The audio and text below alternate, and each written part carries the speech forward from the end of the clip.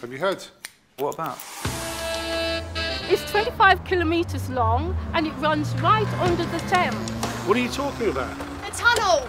What tunnel? Apparently it's big enough to take three double deckers side by side. Wouldn't catch me driving through that.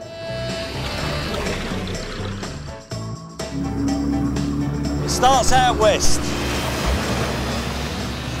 And it runs all the way out east. So, what's it for then?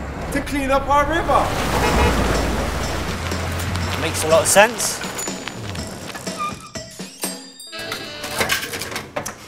Because the old sewers aren't big enough. So when it rains, they overflow. Yeah, so that means raw sewage is going straight into the Thames. Oh, grim.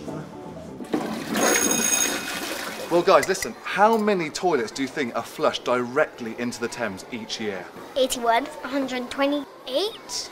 Eight billion. Whoa! That's a lot of hay!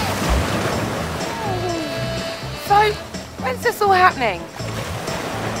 It already is. This is world-class engineering.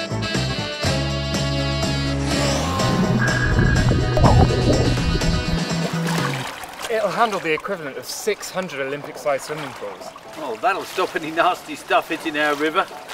To make a healthier environment for us all.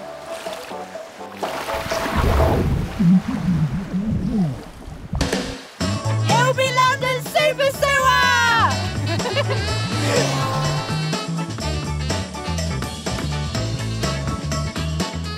Fit for our growing city.